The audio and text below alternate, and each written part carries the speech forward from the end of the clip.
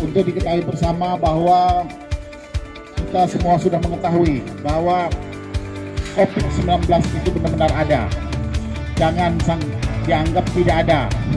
Kita tidak tahu apakah kita yang tertular atau kita yang menularkan. Karena ini barang itu tidak bisa kita lihat. Tapi itu nyata ada.